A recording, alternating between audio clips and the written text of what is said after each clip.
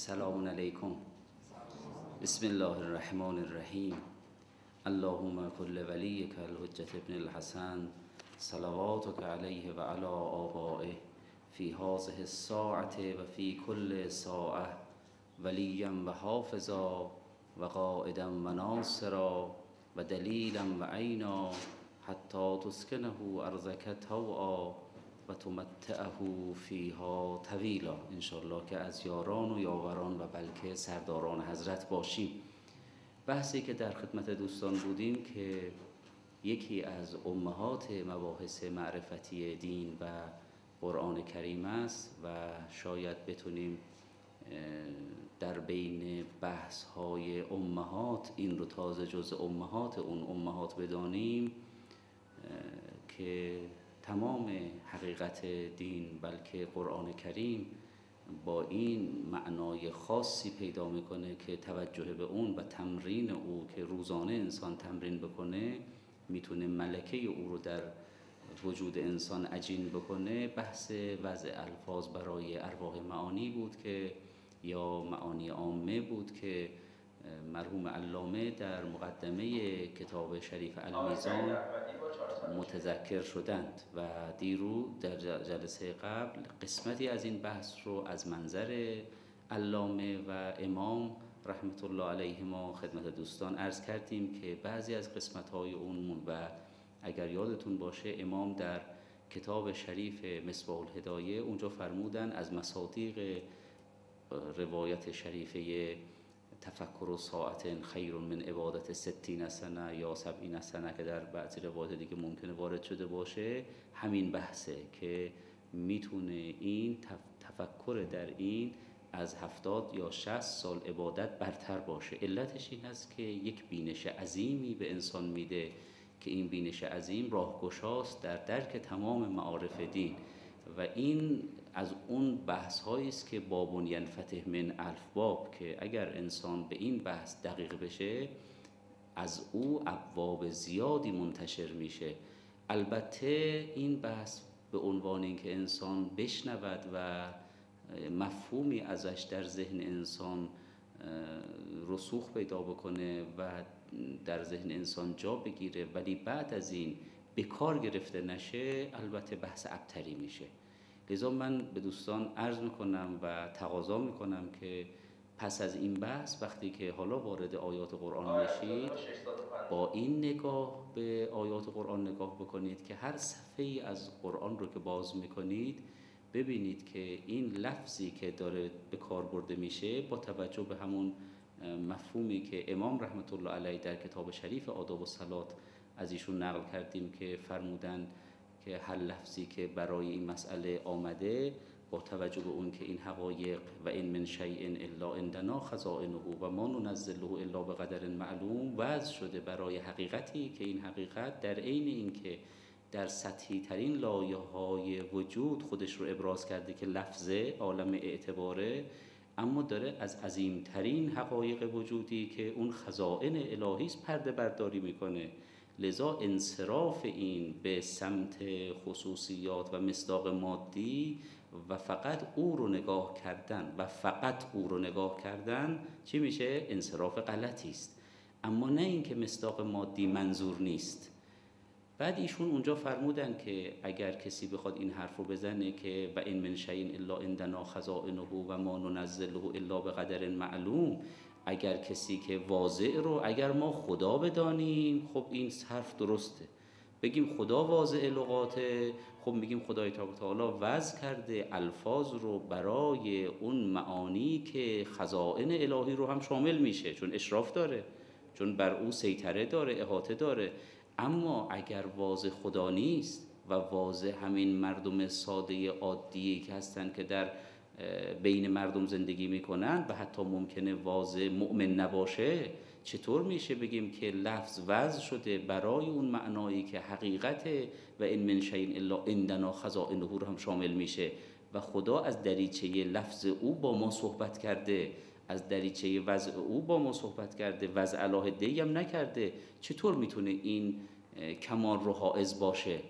عرض کردیم که امام تو آداب و سلات و مرحوم علامه در مقدمه المیزان این بحث رو مطرح کردن به خصوص امام تفصیلا این بحث رو وارد شدن که ما با اون مبنایی که خدا واضعه الان کاری نداریم. نمیگیم هم غلطه. دقت می‌کنید؟ نمیگیم هم صحیحه بر اون اساس. ولی بر اساسی صحبت می‌کنیم که واضح کی باشه؟ بشر باشه نه خدا. درسته؟ بر این اساس آیا این مبنای عظیم درست میشه یا نمیشه؟ ایشون میفرماید که بر این مبنا درست میشه که واضح. کی هستش؟ همین افراد معمولی که حتی ممکنه مؤمن نباشن. مثالم زدن ایشون از اگر یادتون باشه از رحمان و رحیم شروع کردن که رحمان و رحیم دو صفتی است که رقت و بلکه عرقیت تو یکیش در حقیقت چی شده؟ انفعال توش اشباع شده و از ابتدا رحمان کسی است که نسبت به اون حقیقتی که می‌بینه اون صورتی که می‌بینه انفعال درش ایجاد میشه و عطوفت به خرج میده و دنبال جبران در حقیقت چی هستش؟ اون کسری است که برای اون کسی که در مقابلش قرار گرفته. این صفت رحمت برای رحیم برای رحمان این صفت در اونجا با انفعال و رقت درش شده نگاه شده.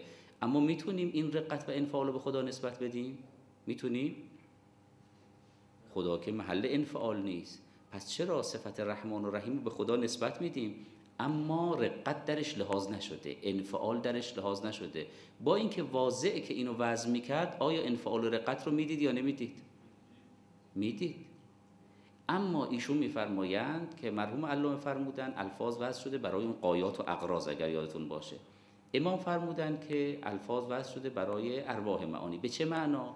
ایشون فرمودن که وقتی که مثلا واضح وضع می‌کنه لفظ رو برای نور درسته که هر نوری که در این عالمه همه این نورهایی که ما می‌بینیم حتی نور خورشید که یکی از مثلا عظیمترین نورهایی است که ما در عالم می‌بینیم تو عالم محسوس می‌بینیم درسته که نور ظاهرون در حقیقت به ذات و مظهرون لغیره. اما آیا با مرتبه از ظلمت همراه هست یا نیست؟ آیا نور بالاتر از او متصور هست یا نیست؟ که از او عظیمتر و مثلا از او خالصتر باشه خب قطعا هست. هر نوری غیر از نور نامتناهی محض حضرت حق درسته؟ با مرتبه ای از ظلمت همراه هست. بزا میگیم مثلا نور خورشید این درجه از نورانیت رو داره در حالی که مثلا ستاره دیگری که عظیمتر از خورشیده نورانیتش چی هستش بیشتره هیچ اشکالی هم نداره. چنانچه لامپ ها هم همینجوره. این 100 وات او 200 وات او 300 وات یعنی هی نورانیتش بیشتره. آیا اینی که وضع کرد لفظ رو برای نور به عنوان اینکه ظاهرون به ذات و مظهرون لغیره آیا اینو وضع کرد برای نور مع ظلمه یا وضع کرد برای نورانیت؟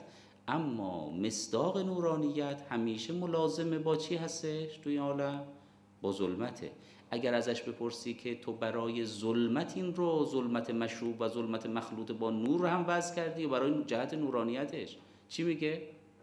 میگه من برای جهت نورانیت این اینو وضع کردم. با اینکه با ظلمت قطعا چی هستش؟ آمیخته و بدون اینم من حتی نور محض هم نمی‌شناسم. درسته؟ ممکن اصلا مؤمن به نور محض نباشه.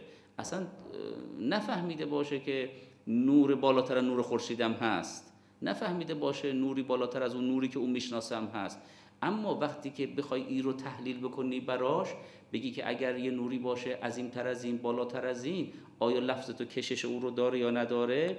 او وقتی که می‌بینه که وضع برای اون جهت مظهر غیر بودن و ظاهر به ذات بودنه چی می‌بینه؟ می‌بینه او بر اونم صدق می‌کنه. لذا تو طول تاریخ وقتی کلمه مصباح سراج مثلا امثال میزان سلاح هر کدوم از این الفاظو که ببینید که مثالی است که مثال است که مرحوم علامه و امام زدن این الفاظ با اینکه از مصباح و سراجی که از ابتدای اون کشف بشر نسبت به سراج که یک شیشه یا یک مخزنی بوده که توش روغنی بوده و یه فتیله داشته با اینکه او اطلاق سراج بهش می‌شد درسته؟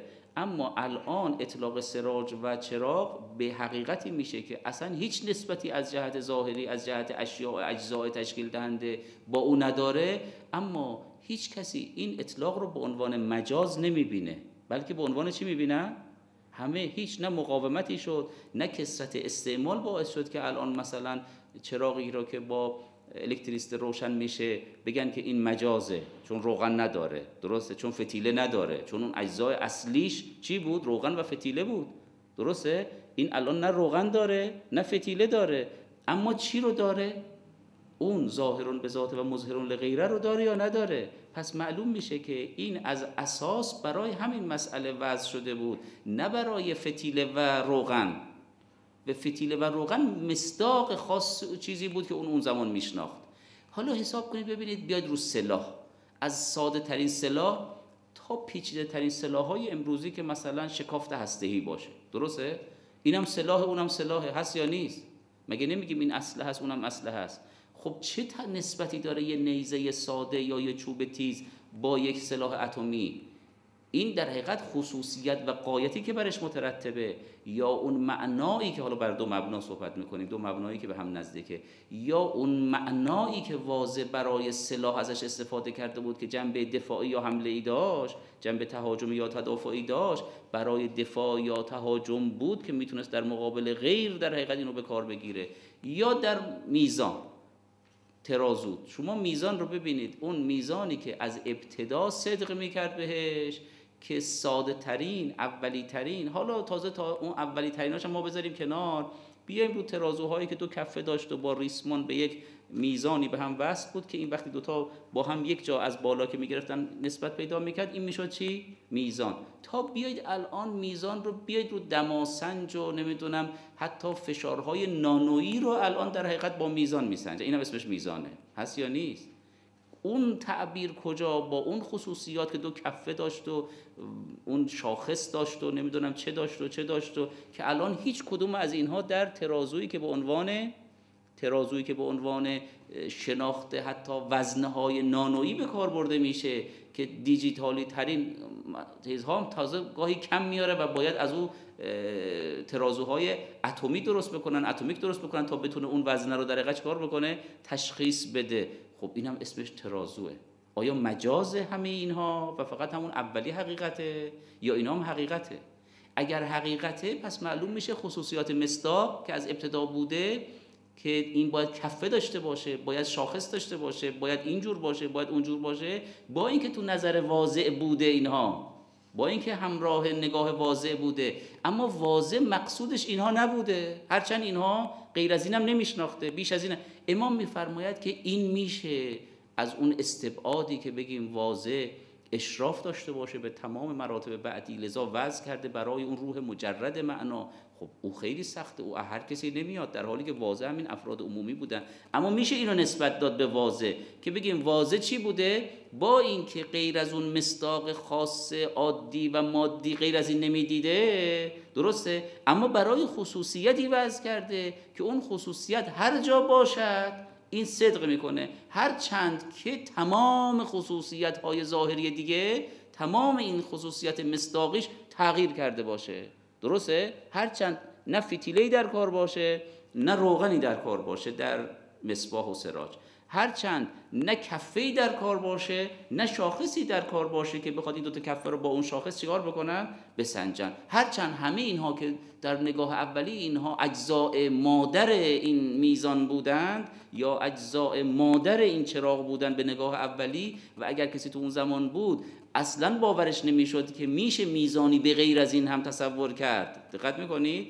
بعدها به مرور که اینها هی رو هیچ کدوم از اینا دخیل نبودن. بلکه اون خصوصیتی که این براش وضع کرده محفوظه و هیچ کدوم از این خصوصیات مصداق در کار نیست. خب با این نگاه می‌بینید که ببینید این تازه سیر در مسائل چی هستش؟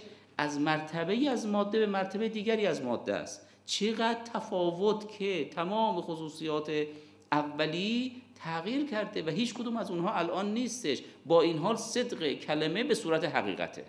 صدق کلمه به صورت حقیقته. حالا بیایید شما رو حقیقتی که به عنوان و این من شیء الا عندنا خزائنه که خزائن اشیا نزد خدای تبارک و تعالی همه اشیا همه اشیا خزائنش نزد خداست و این خزائن نازل شده تو مقام لفظ آمده داره به صورت لفظیه برای ما چی میشه؟ چه قوانین الهی چه حقایق و اشیا که هر دو و این من شیئن شامل هم حقایق میشه هم روابط میشه. این و این من شیئن هم شامل حقایق میشه هم شامل چی میشه؟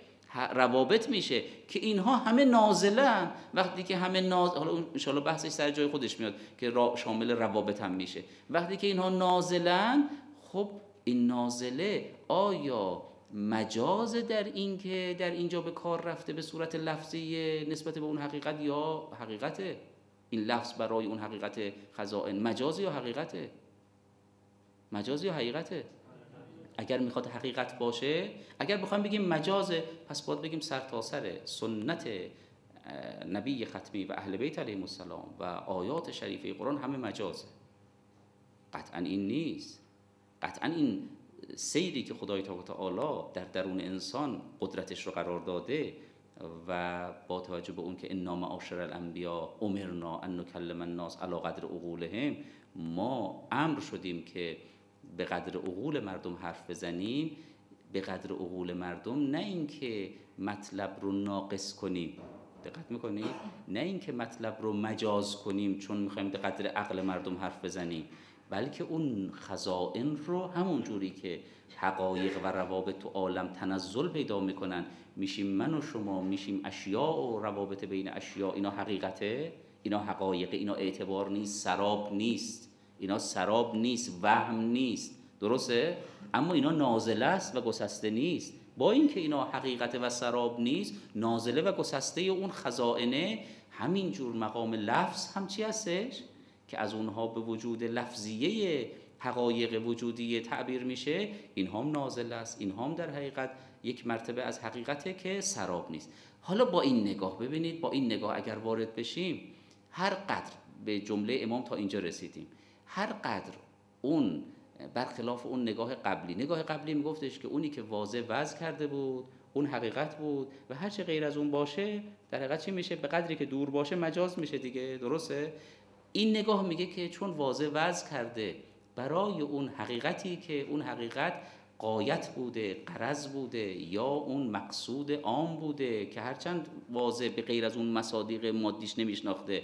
درسته این نگاه اولی بود. هر قدر از این دور بشیم باید به مجاز نزدیکتر باشیم. اما با این نگاه هر قدر به اون معنایی که قایتی که قرضی که معنی عامی که واضح برای اون وضع کرده هر قدر به مصداق تامتری از او برسیم این حقیقت اشد میشه یا ضعیف میشه؟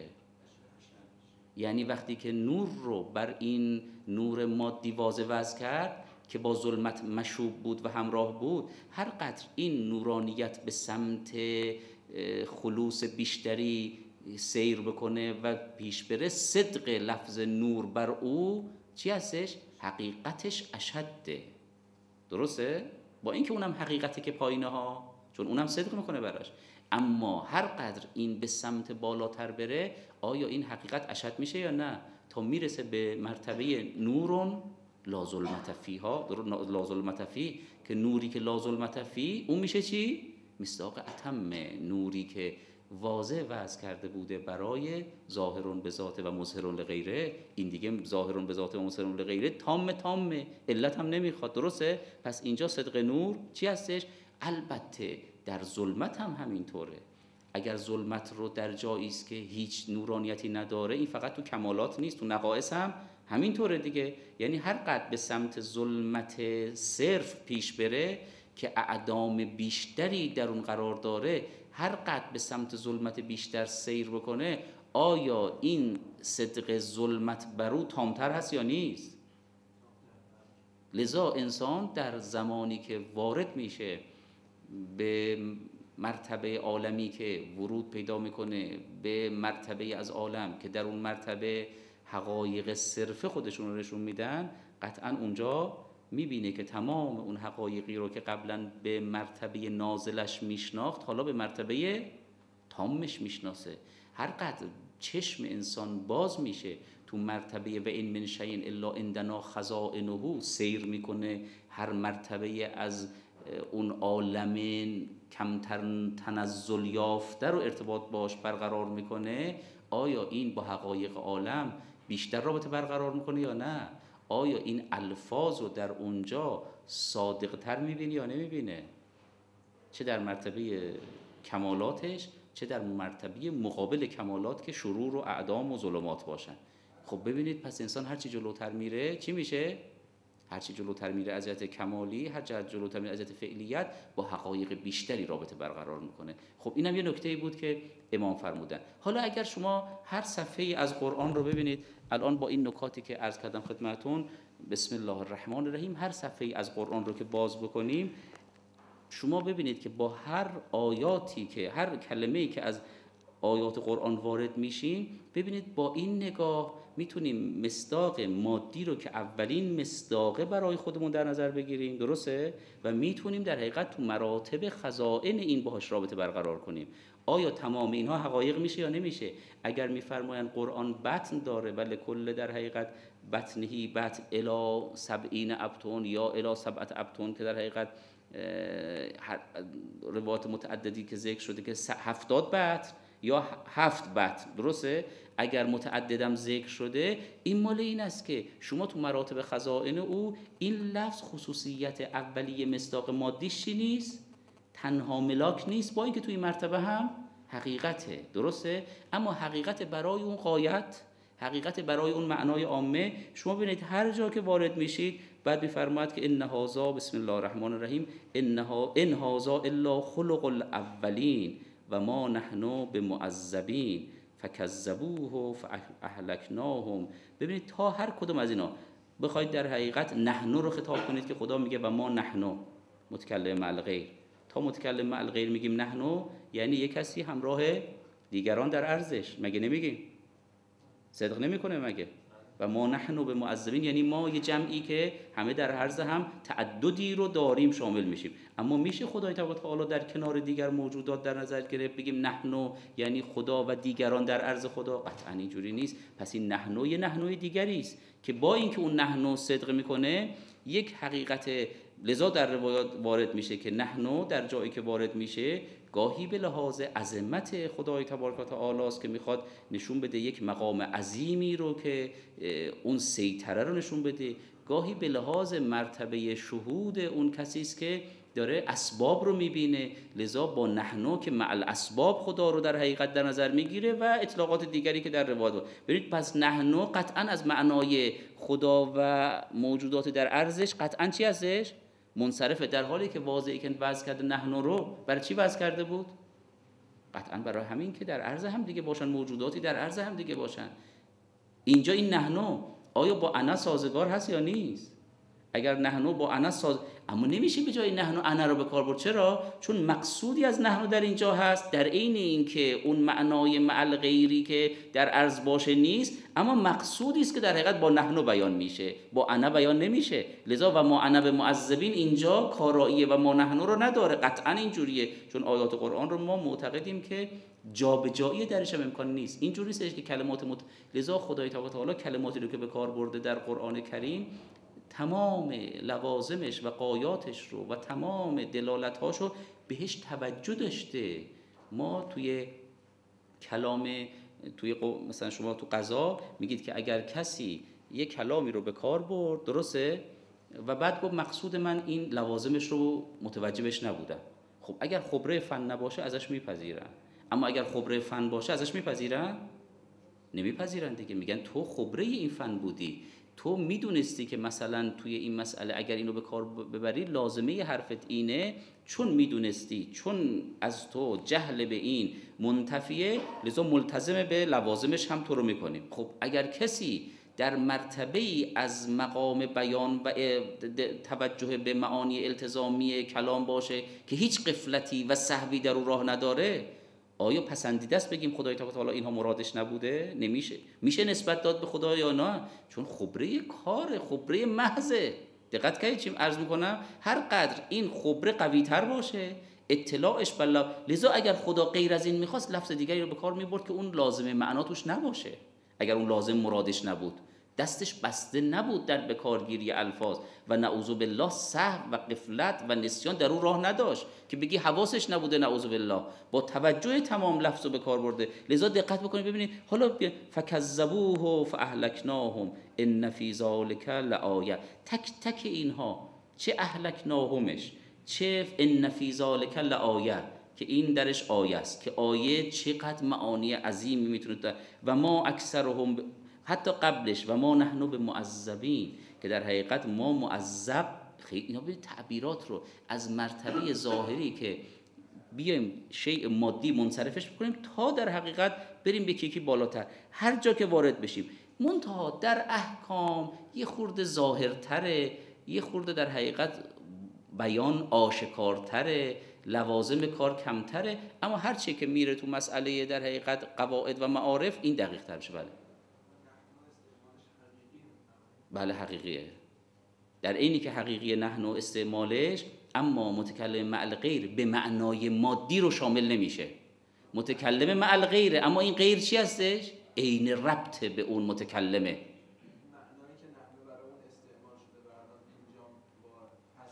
یعنی یه جامعیتی رو وقتی که یک مجموعه یه جامعیتی رو در نظر می‌گیرن درسته؟ که یک نفر نیست بلکه جمعیه. اینجا جمعه اما جمعی است که همه جمع وابسته به چی هستن؟ عین ربط به خدا هستن درسته؟ چون نگاه عرض کردم اسباب درش لحاظ شده. دقت می‌کنی؟ اسباب درش لحاظ شده. وقتی میگه و ما نحنو یعنی اسباب رو هم دی... اما اینجا اسباب در عرض خدا نیستن که بگیم نحنو یعنی در کنار خدا اینا با هم. درسته؟ صدق می‌کنه که بگیم کسرت نیست. وحدت درسته؟ صدق می‌کنه. چون کسرت اسباب مخل وحدت الهی آیا؟ نه. یعنی وحدت حاکمه. لذا اگر میفرماید که و ما نحنو در قیامت هم که همه اسباب برچیده میشن تقطعت بهم الاسباب درسته؟ همه اسباب در اونجا متقطعه. باز هم نحنو صدق می‌کنه. بله با اینکه ظهور وحدته. با اینکه ظهور وحدته. این آیه صادقه. و ما نحنو به معذبی دقت می‌کنید؟ ابی نداره. نداریم آیات قرآن رو که به کار می‌بریم میفرماید که آیا چیزهایی که تو ما را بدان فرا می‌خونی جز چی اومده؟ که ترجمه شه. که اهل و ما هرگز عذاب نخواهیم شد. اونا دارن میگن بیان ایشون. که بیان ایشون هم درسته. یعنی ما اومدیم نحنو رو خدا گرفتیم. ما نحنو یعنی خود کافرین. کافرین میگن ما معذب نمیشیم. داره کلام اونا درست. اما نحنو در کلام الهی رو من ذکر می‌کردم که ذکر میشه که انا نحنو نزل نزک و انا نحنو لحافظون. درسته؟ اگر در حقیقت نحنو به کار برده میشه تشکر می‌کنیم. از تذکر ایشون هم خیلی بجا بود. خیلی که بالاخره آیه رو که داریم. نحنو رو ما مقصود اون بود که نحنو که به کار برده میشه نحنو بیانش این است. هرچند در اینجا این نحنو کلام چی هستش؟ کلام در حقیقت مشرکین و کافرین نیست که در مقابل نبی الهی به کار بردن. جواب هستاری تونستم بدم؟ که ما کلمات رو به کار حالا بیایم ببینیم که و ان ربک له العزیز الرحیم که اینجا دیگه خطاب خدای تبارک ان ربک له العزیز الرحیم. قطعا عزیز رحیم معنای ظاهریش مراده.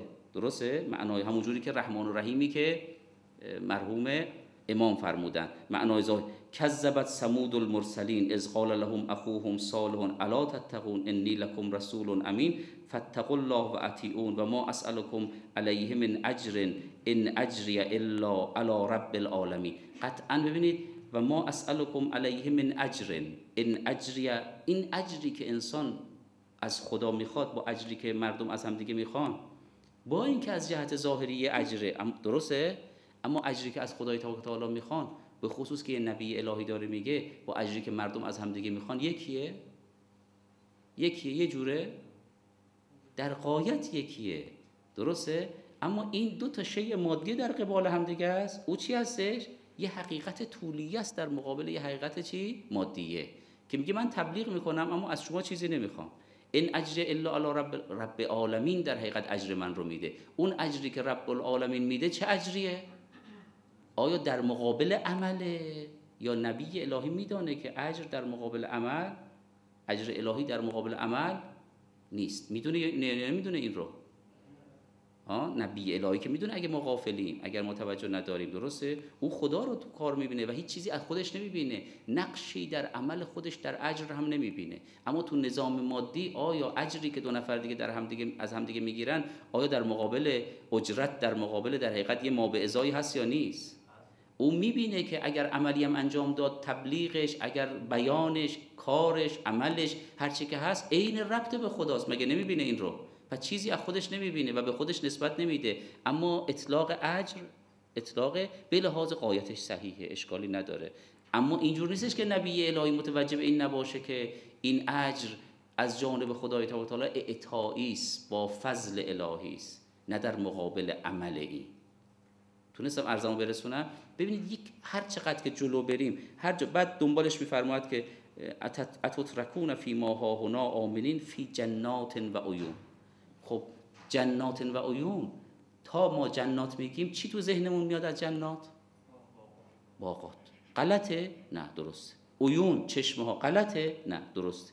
اما از حقیقت جنات و عیون چه کمالی متمشیه چه کمالی متفرعه که جنات و عیون جنتی هم این رو شاملند.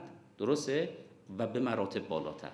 مرحوم علامه خیلی زیبا تو جلد سه هم اینو میفرماید میفرماید که در قرآن میفرماید میگه ما عادت کردیم تا میگه که مثلا فی جنات و عیون چی رو اصل قرار میدیم؟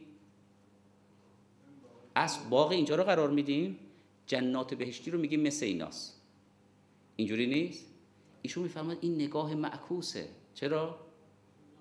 چون مادر که نازله نازله نازله است اصل قرار میدیم؟ اون وقت حقیقت رو که اصل اصله رو چی قرار میدیم؟ مثل این قرار میدیم. در حالی که تو تشبیه همیشه با چی باشه؟ اونی که اصله به اصطلاح مورد تشبیه قرار بگیره. لذا اگه در آیه میفرم مثل الجنت مثل الجنت التي وعد المتقون چی؟ کمثل جن جنات تجری من تحت الانهار. اگر آیه رو درست خونده باشن. مثل اون مانند مثل این میمونه. لذا اول اون چیزی رو که تشبیه شده بهش چی قرار داده؟ اون جنت قرار داده. این جنت رو مثل اون می‌گیره. یعنی اگر شما می‌خواید اون جنت رو بشناسید نگید که اون مثل اینه. بگید چی؟ این مثل اونه. این مثل اونه. اگر گفتید این مثل اونه حقیقت میشه او این میشه چی؟ میشه فر.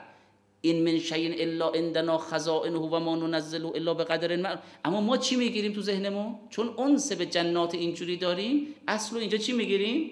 این خصوصیت می‌گیریم. لذا چون اصل این خصوصیت می‌گیریم تمام خصوصیات مادی اون رو هم چی می‌بینیم؟ اصل می‌بینیم. اگر بخواد یه ذره از سری کاسته بشه چی می‌بینیم؟ می‌بینیم این اصل خدشدار شده. نه اونجا جنت نیست که قطعا هست. اما قطعا جنات اونجا طبق آنچه که روایات هم میفرماید دائما انسان رو دائما انسان رو متذکره در حقیقت آیه بودن اونها کاملا آشکاره. واضحه. انسان رو دائما مرتبط با خدا می‌کنه اون جنات. برخلاف جناتی که در اینجاست که اکثرا چیه؟ انسان وقتی که وارد یه جای در حقیقت مبتهج کننده می‌رسه تو حالت ابتهاج و تو حالت خوشی انسان چی داره؟ لذا خدا میفرمان اخذناهم بالبأساء و الضراء لعلهم یضرعون ما به سختی میندازیم تا اینها توجهشون جلب بشه. یعنی تو راحتی عمدتا چی میشه انسان؟ قافل میشه. در حالی که تو جنت مظهر تام راحتیه اما اون جایی که مظهر تام راحتیه هیچ راحتی چی؟ قافل کننده نیست. از بس آیاتش واضحه و انسان هم حالتش مختلف. تو همه آیات امکان پذیره. چرا؟ منتها عالم ماده چون خودش نازل است آیه که راجع به اینجا اومده مستقل منفصل نیامده. چون خود این آیه نازل هست یا نیست؟ چون خود عالم ماده یا نازل هست یا نیست؟ وقتی خود عالم ماده نازل است پس به عنوان یه حقیقت منفصله از خدا دیده نمیشه. اگر کسی این رو به عنوان منفصل از خدا دید او رو ندیده درست ندیده. این میشه حیات دنیایی که لحو و لعبه. یعنی این به صورت حیات دنیا دیده شده. نه به عنوان در حقیقت چی؟ آیه الهی. درسته؟ پس خدای تبارک تعالی وقتی همه اشیا رو به عنوان نازله و آیه نازل کرده روابط بین اینها رو به عنوان آیه و نازله نازل کرده درسته؟ احکامی هم که در الفاظ قرآن برای اینها آورده همه به عنوان چی هستن؟ همه نازلن. یعنی اگر کسی از اینجا بره بالاتر می‌بینه که آیات قرآن تمام عوالم بالاتر رو هم احکامش رو داره و بیانش رو داره. انا معاشر الانبیا امرنا ان نکلم الناس علی قدر عقولهم درسته؟ وقتی که میره بالاتر می‌بینه عجب. اونی که انبیا فرمودن تمامش تو عالم مثال هم چی هستش؟ حاکمیت داره به نحو اتم. وقتی که میره تو عالم بالاتر تو هر مرتبه‌ای که وارد میشه می‌بینه همه اون چون قرآن نازل است چون خود حقایق وجودی نازله هستند درسته؟ چون در حقیقت بیان انبیا در بیان آیات نازله اون حقیقت بالاست. لذا کی می‌تونه قرآن رو بیان بکنه؟ کی می‌تونه قرآن رو نازل بکنه؟ کسی که تو مراتب این حقایق عالم خودش به سعی رسیده باشه که شامل و حائز این مراتب و از اون با از اون موتن داره صحبت می‌کنه. بله. بلندتر باید بگید ببینید دوستان. بله هر صفتی که برای مؤمنین ذکر شده حتی مثل اقامه سلات و ایتاء زکات درسته؟ همه اینها چی هستن؟ اینها نازله هستن. کی ما می‌فهمیم؟ ممکنه مؤمن وقتی که داره ایتاء زکات می‌کنه و اقامه سلات می‌کنه اون حقیقت رو به معنای خزائنش نبینه. اما این آیا ندیدن این باعث میشه نداره؟ آیا ندیدن این باعث میشه که اون نداره؟ دقت می‌کنی؟ نه اینجور نیست. بله.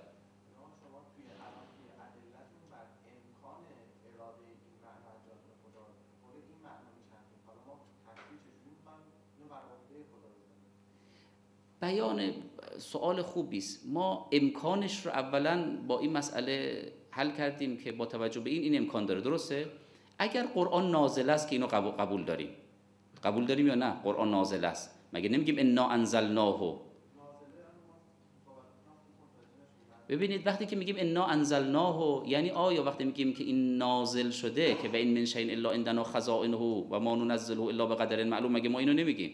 و ما مگه ما نمیگیم که ام کتاب نزد خدای تبارک تعالی محفوظه و این کتاب محو اثبات و این کتاب در حقیقت در بش برای بشر نازل شده تو این مرد. مگه اینا رو نمیگیم؟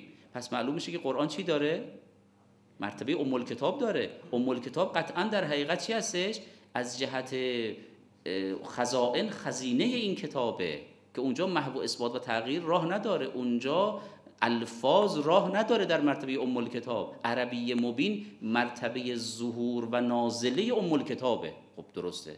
پس معلوم میشه تو مرتبه ام کتاب که توی روایات هم داره که اونجا اون نزول دفعی که محقق میشه تنزیل و انزال. که انزال دفعی است و تنزیل تدریج حالا تو جای خودش میاد. تنزیل در حقیقت تدریجیه الفاظ درش دخیله. اما تو انزال که دفعیه چی هستش؟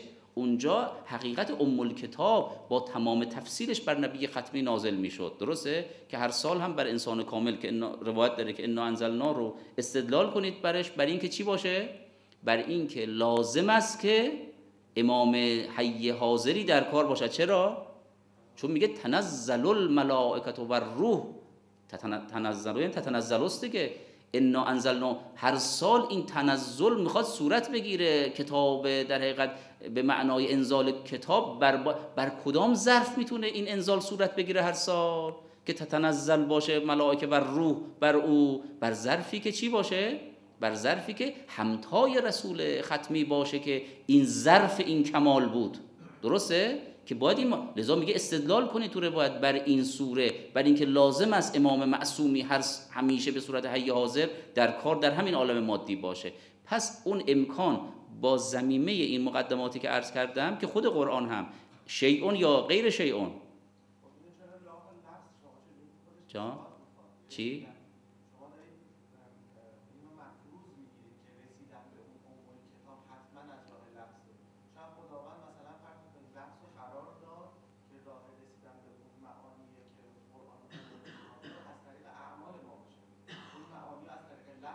ببینید خیلی بیان شما جواب خودتون خودتون دادید. درسته که لفظ بیان میشه اما لفظ داره چی رو بیان می‌کنه؟ میگه ایتا و زکات میگه اقامت و سرات مگه نمیگه؟ یعنی این لفظ داره دعوت می‌کنه شما رو به عمل. درسته؟ اگر ما این لفظ نبود عمل رو از کجا میشناختیم؟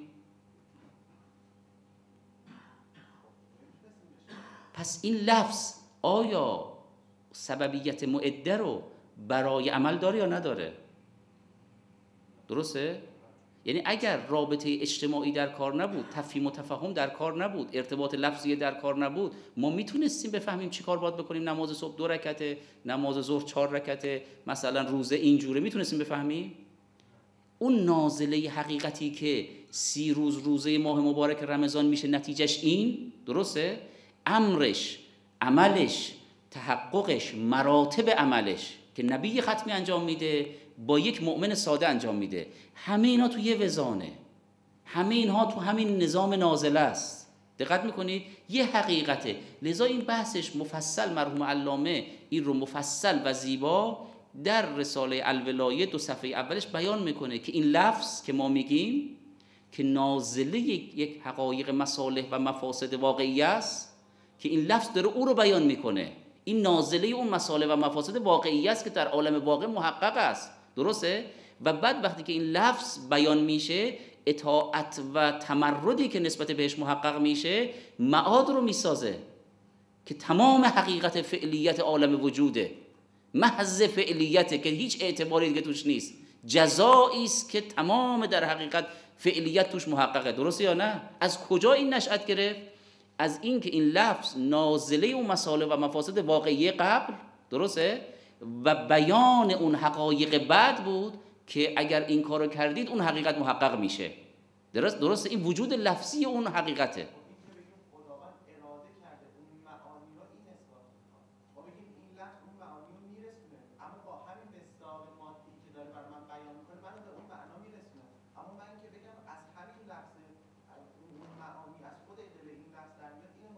این نقصه یعنی شما ببینید که خدای تبارک و تعالی حقایق رو در مراتب خزائنش دارد نازلم کرده درسته؟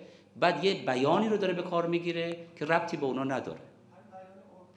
بیان عرفی یعنی تو بیان ما بیان عرفی رو اول تحلیل کردیم اتفاقا. گفتیم بیان عرفی خصوصیت مصداق توش دخیل نیست اصلا کاری هم به قرآن نداشتیم.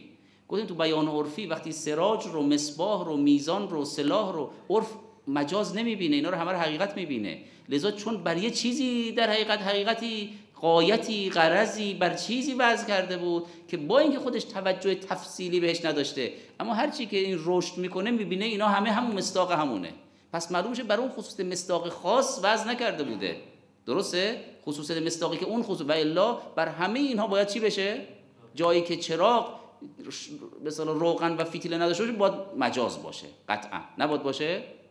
پس معلوم میشه که در ما اول اونو تحلیل کردیم و بعد گفتیم خدای تبارک و تعالی به وزان همین سیره در قرآن با ما صحبت کرده. منتها ما در تحلیل صورت در حقیقت به تحلیل عرف مردم تحلیل کردیم از یک مرتبه مادی به مراتب دیگش گفتیم سلاح از خب بله ببینید مثلا شما توی انواع اقسام تعبیراتی که تو قرآن و روایاته. مثلا میفرماید سلاحی در دست رسول خداست من نور. مجازه؟ یعنی معلوم میشه که این سلاح من نور بیان می‌کنه که سلاح از نور است. حقیقت داره به کار بره که حقیقت سلاح صدق می‌کنه در اونجا. تونستم ارزان برسونم؟ یعنی وقتی که میایم تعبیرات رو به کار می‌بریم تا میگه مثلا در دوران رجعت دست مثلا امیر مؤمنان علیه السلام شمشیری است که این شمشیر وقتی که بلند میشه مایز بین حق و باطله. یعنی در حقیقت باطل چی میشه؟ آش آیا با زدن و کله رو کندن این باطل آشکار میشه؟ یا این شمشیر و سلاح صدق می‌کنه؟ اگر میگه مثلا دعا سلاح المؤمن یا در حقیقت انواع اینا که بکار اینا مجاز نیست. یعنی در حقیقت اون سلاح حقیقتی که براش به کار برده می‌شد دقت می‌کنید اون نتیجه که برش متفرع بود تو این حقایق هم همون نتیجه متفرعه. یعنی تو مرحله اول واضح اصلا نمی‌فهمید که دعا هم می‌تونه سلاح باشه. این رو توجه نداره. اما معصوم می‌فهمه که اون قایتی رو که شا به واضح به کار برده بود در دعا هم هست. این سعه احاطه اونه که میاد این رو هم برای او به کار می‌بره. و امثال این تعبیر حالا وارد بشید ببینید هیچ کدوم دیگه اینا مجاز نیست. بلکه میگردید وجه مشترک وجه در حقیقت این که این سلاح دعا سلاحه با اینکه در حقیقت اسلحه ای رو که در مقابل دشمن به کار می‌گیرن در مقابل تدافع به کار می‌گیرن ببینید دعا سلاحه. اون وقت اینجا در مقابل شیطان دعا میشه سلاح در مقابل دشمن دعا میشه سلاح. دعا میشه هم سلاح تهاجمی هم میشه سلاح تدافعی. دقت حقیقت هم هست. یعنی واقعا همون معنا رو به کار برده میشه توش. لذا اگر یه خورده حالا البته منم توقع ندارم که این مسئله به سرعت چی بشه؟ قبول بشه. چون یه بحثی است که اگر انسان قبول بکنه یه دفعه حالا وقتی که وارد میشه دنبال آیات قرآن دیگه این رو بلافاصله تو نظر اول حمله بر اولین معنای مصداق مادیش نمی‌کنه. هر چند که اون رو هم شامل می‌بینه. دقت کردی؟ هر چند یعنی این خصوصیتش این است که نمیاد بگه که اون مرتبه مادی وضعش مجازه. میگه اون حقیقته. دقت می‌کنید؟ اما حقیقت به چه جهتیش؟ به جهت اون قایت قرص یا معنای عامی که در ضمنش بوده. لذا این حقیقت مرتبه بعدی هم حقیقت مرتبه سوم و چهارم هم حقیقت درسته؟ با این نگاه می‌بینید تمام این مراتب میشه حقیقت و هیچ کدام مجازم نمیشه. و آیات قرآن و روایات معصومین علیهم السلام اینجا به جای اینکه همه اینها رو به مجاز حمله کنیم همشون حمله بر حقیقت میشن. و السلام علیکم و رحمت الله و برکاته. سلامت باشین بخیر باشین. دو تا اراده نمیشه یعنی در واقع بعد از نماز شاد نه. بله؟